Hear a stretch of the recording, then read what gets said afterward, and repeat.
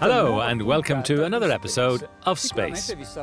You've probably used an app on your mobile phone to get the weather forecast. Now, ah, thanks to a satellite network and ground based stations, such as this truck, it's possible to get, through an app on your phone, information about pollution in your cities.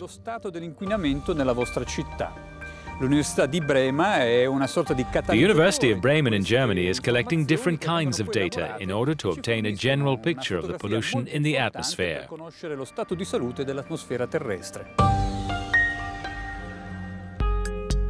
Earth's atmosphere is a complicated system, influenced by a large number of factors.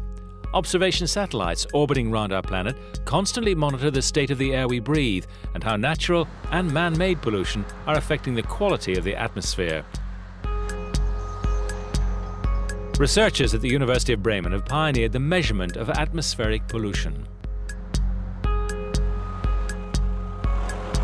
Measurements from space are essential because they provide us with the global picture or from the local to the global scale to tell us what the meteorology and, and, atmospheric chemistry are doing to our emissions. The wind systems are moving the air around. At certain times of the years, Europe is venting to the pristine regions of the Arctic. Similarly, we in Europe receive in summer often pollution coming from America.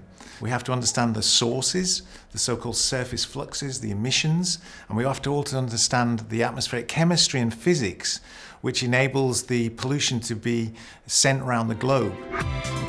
To detect every piece of the chemical puzzle composing our atmosphere, scientists work with data collected by spectrometers, aerosol analysis, and satellite measurements, as were the ones coming from the Earth Observation Copernicus program. In the Bremen Observatory above the university roof, the sunlight is decomposed into its basic radiation and analyzed to find trace of pollutants. You can say every molecule has its fingerprint in the spectrum. There are millions of lines, so there's an enormous amount of information in it. And these lines now, in this case, can be attributed to CO2. So it's the CO2 in the atmosphere, which is absorbing the solar sunlight. This truck is a mobile measurement station. It helps detect the footprints of smog and industrial emissions which affect the air quality. Methane and CO2 are the greenhouse gases driving global climate change, and they are strongly linked to human activity. But to have the wide picture, it's crucial to distinguish between man made and natural pollution. This truck uh, provides a unique set of uh, different instruments. So on one hand, we have instruments uh, which are sucking in just air around us, which means that we are able to uh, um, analyze the air for pollutants. On the other hand, we have uh, remote sensing instruments uh, using more or less the same type of uh, analyzers as the space-borne instruments.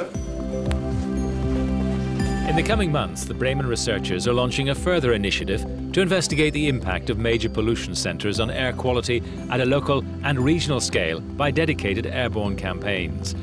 This carbon dioxide and methane mission will provide new data in order to support the validation of satellite measurements.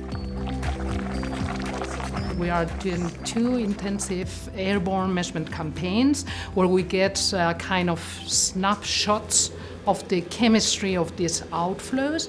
And in the analysis, we combine this with satellite data to understand how the uh, uh, chemical evolution of the outflows from megacities.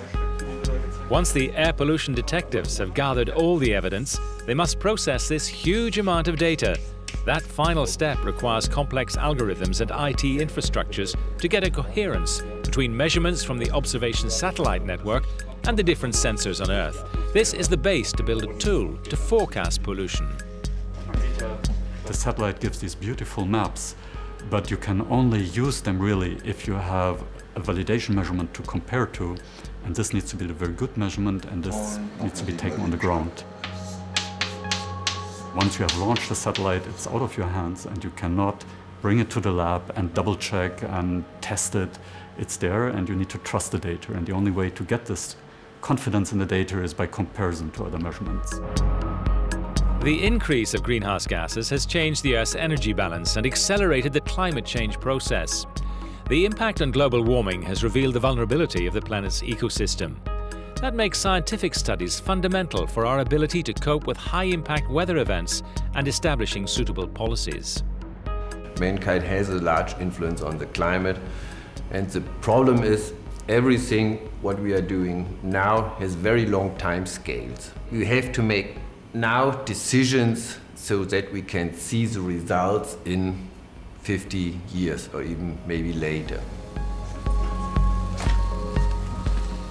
Need better information and better quality information in order to be able to provide the right mechanisms and the best possible uh, models for prediction of human impact and natural phenomena. As we've seen in Europe, the improvement of air quality, and this is certainly a result of, of policy. Uh, it shows that people can do it, governments can do it, but we've got a long way to go.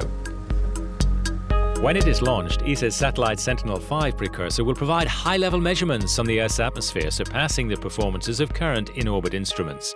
It will boost the quality of data gathering and enable researchers to optimize their models.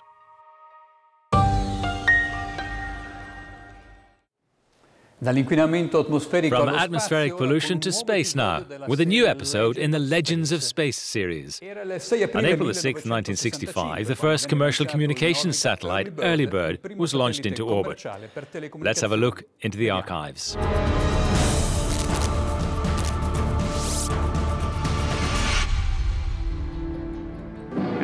Early Bird was the very first commercial communications satellite placed in geostationary orbit. It was launched in April 1965 on a Delta D rocket from Cape Canaveral. Will be sent to the Andover Earth Station for transmission to the spacecraft. It was capable only of transmitting uh, uh, one TV channel and uh, or some equivalent telephone uh, conversations, but uh, it was the, the first, the precursor. When the third stage separates, Early Bird Au lancement d'Early Bird, euh, j'avais 10 ans. When Early Bird was launched, I euh, was 10 years old, and I was quite passionate about seeing all the newspaper articles that described this first commercial satellite.